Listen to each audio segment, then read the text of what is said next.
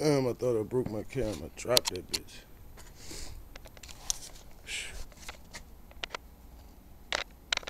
It's crazy. Can't afford to keep breaking these motherfuckers. Camera $300, goddamn.